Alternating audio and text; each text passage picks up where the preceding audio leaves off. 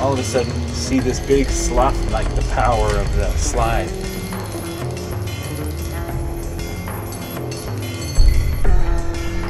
First, the uh, snowpack was quite smooth, but then all of a sudden it turned into uh, what I could best describe as a raging river of snow.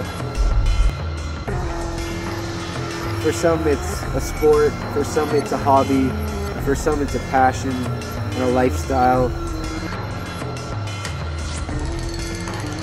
They're getting into steeper, gnarlier terrain than what people used to ski 20 years ago. Just backcountry riding, it's just getting bigger and you need to find bigger terrain to ride on. So you need to develop your uh, knowledge of the backcountry as well as your progression of snowboarding. Yeah, my nails broke off. Everything broke off. I was just scraping, scraping, scraping. And the snow is like ice. It's like a skating rink, like a hockey rink. Just try to scratch away at that. That's what it was like. And then I found this leg back there all twisted up. Sole up to the skies. Like, yeah, my legs were broken.